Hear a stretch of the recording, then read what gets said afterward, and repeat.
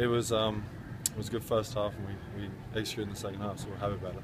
What did what did coach like about the game? Um, I think we, we did a good job offensively, like executing at times.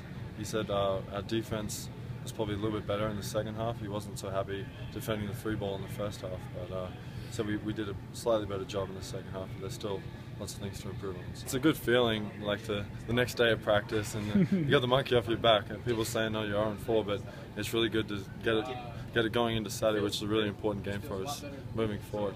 Why do you feel that? Why do you view that game as an important one?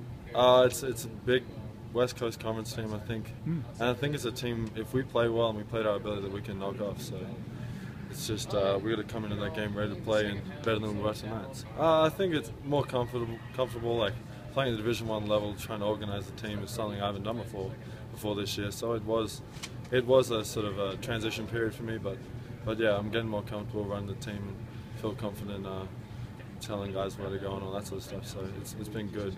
Hopefully I can do a little bit more offensively. Mm -hmm.